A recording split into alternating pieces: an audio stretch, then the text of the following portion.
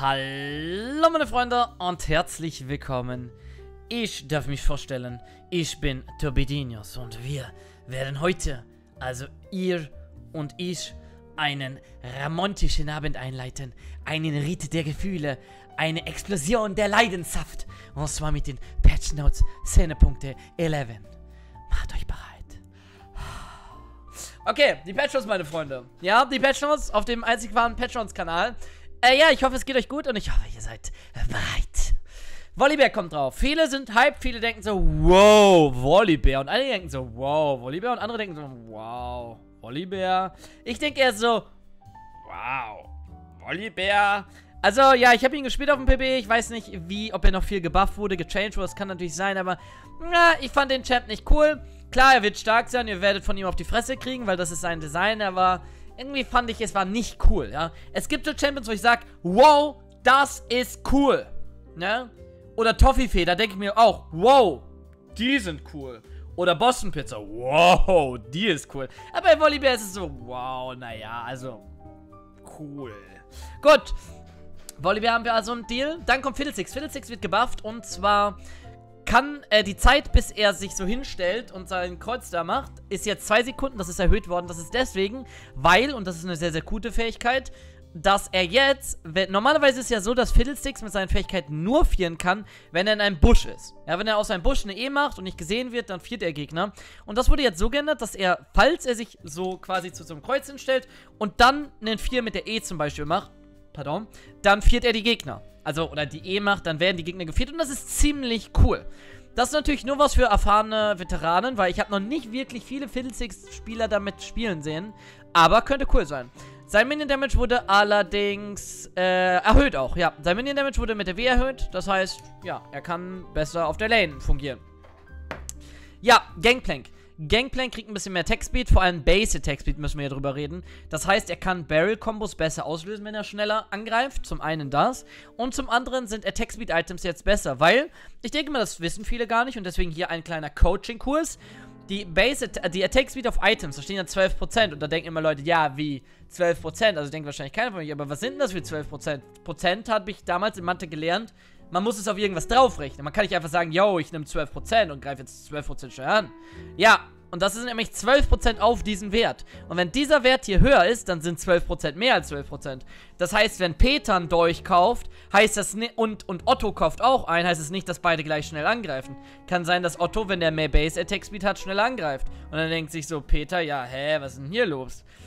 Das heißt, Attack Speed Items könnten jetzt cooler sein. Ja, Graves. Graves, ich meine, ich meine, ich meine, Graves ist ein absoluter Smurf-Champ, ein Booster-Champ und er ist komplett retarded. Und er hat letztens einen Buff bekommen, wo seine, ich glaube genau das ist nämlich gebufft worden. Von 0,8 auf 1, wenn ich mich nicht komplett täusche. Und das war einfach komplett broken. Sind wir kurz ehrlich, es war giga broken. Und jetzt wird es wieder reduziert auf 0,8. Graves ist immer noch stark, tut aber mega weh. Tut mega weh. Hackerin. Hackerim kriegt mehr Damage durch seine Q. Das ist ziemlich cool, weil das natürlich sein Wave Clear ist, beziehungsweise sein Jungle Clear. Wird allerdings gleichzeitig der Minion Damage reduziert, beziehungsweise die Minion Damage Reduction wird erhöht. Das heißt, dass er nicht mehr so viel Schaden macht, damit er jetzt nicht, damit man ihn nicht auf der Toplane abused oder so. Er soll halt im Pferd bleiben, ist halt ein Pferd. Ich meine, wenn Pferde durch die Stadt laufen würden, wo kommen wir dann dahin? Wo würden wir zusammen hinkommen? Also, naja. Janna. Janna ist nervig und Janna macht ziemlich viel Schaden, wenn sie wehrt, also das Ding und Komet oder Sephir, äh, beziehungsweise Benefi. Deswegen wird dieser Damage ebenfalls reduziert um 20. Tut weh, tut weh. Kaiser. Kaiser baut kein Seal und deswegen sagt man, du kaufst kein Seal, deswegen machen wir dich jetzt stärker. Das heißt, ihre Damage, aber Kaiser ist sowieso ein schwieriges Kind, muss man sagen, weil ähm, sie ist ein Einzelkind und damals, ja, also die Mütter und Eltern haben sich getrennt und die eine ist nach Demacia gegangen und hat dann reichen. Nee, das ist alles Quatsch, was ich erzähle. Okay.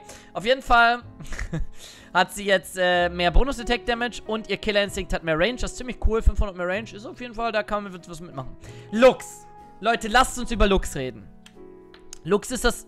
Lux ist einfach die Kuh von.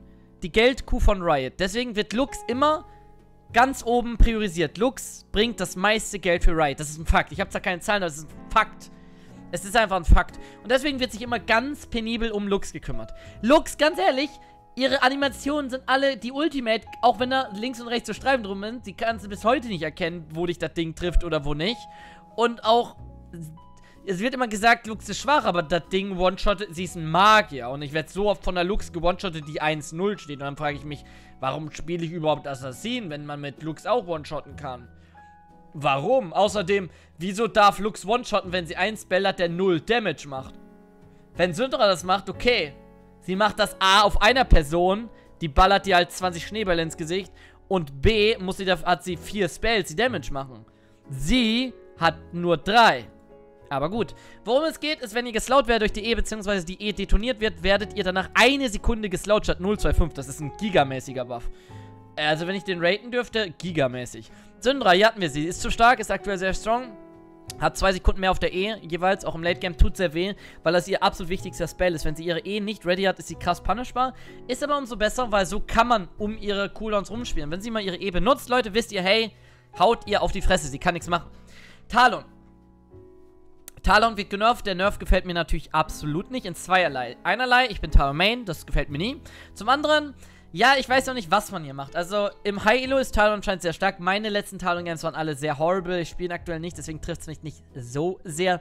Ich finde trotzdem den Nerf dumm, weil man sagt, hey, wir machen mehr Mana-Kosten und reduzieren den Heal. Ich meine, hätte man nicht, also versuchen können, ein bisschen eins von beiden zu machen, weil jetzt hast du weniger Mana und kriegst weniger. Also du hast weniger Mana zur Verfügung und kriegst weniger HP dazu. Ich meine, hallo? Hallo? Hallo? Ja. Marksman. Marksmans weinen ja ständig, deswegen werden alle gebufft. Alle kriegen jetzt mehr 30 mehr HP und 2 mehr HP pro Level. Das heißt, Marksmans werden generell viel HP haben. Allerdings werden einige Marksmans anders behandelt, weil das Solo-Laner sind. Und dann sagt sich Riot, okay, diese Champions werden auf Solo-Lanes gespielt, deswegen müssen wir sie anders behandeln. Und ich denke mir, wie wäre es, wenn ihr sie so behandelt, als... Ich meine, gibt es irgendjemanden, der gerne gegen einen Lucian oder eine Vayne Top-Lane spielt? Irgendjemanden? Dann jetzt die Hand heben. Die linke weiße Hand. Also ich spiele da nicht gerne gegen. Äh, ja. Auf jeden Fall macht sein Lightslinger jetzt 100% Crit-Damage. Naja, das bringt nur was, wenn du Crit hast. Das Ding macht ein bisschen mehr im Early Game. 4%, das ist nett. Kostet außerdem kein Mana mehr, wenn ihr so einen Geist losschickt. Vayne macht jetzt mehr Tumble, Scaling und Tristan hat mehr Tech Speed, was natürlich auch sehr gut ist, um Bomben zu proppen. Seal-Items geben jetzt 2% mehr Movement Speed. Cassio, das Interessante hier ist, wenn ihr vergiftet seid, dann habt ihr jetzt so ein Zeichen von wegen, hey, ich krieg gleich turbo viel Damage steht über eurem Kopf, in Kurzfassung. Ansonsten werden noch Aram gechanged und Earth, Leute, Earth. Also in Earth tryen die Leute mehr als in Normal Games und in Rank Games. Was ist da los? So, Teamfight Tactics.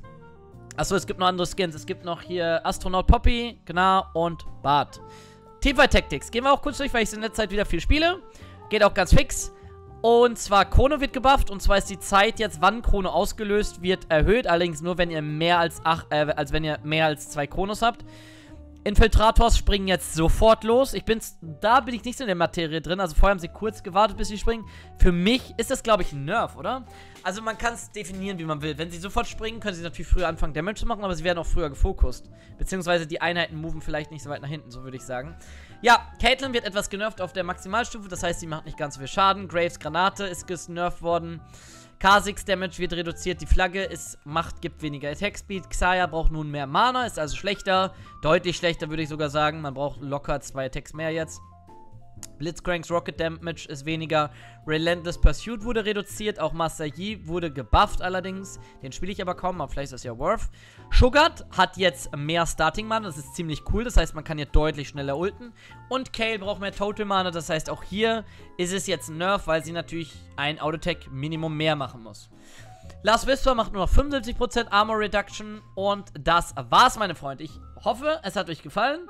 Ich hoffe, es war ein ramontischer Abend zu zweit. Wir können ja nochmal ganz kurz gucken, ob bei den Earth Changes irgendwas dabei ist. Ich glaube aber nicht. Oh, lol, die... Der... Hey, lol, das ist doch kein Astronauten. Na, achso, hey, der wird zu einem anderen Monster. Das ist ja verrückt.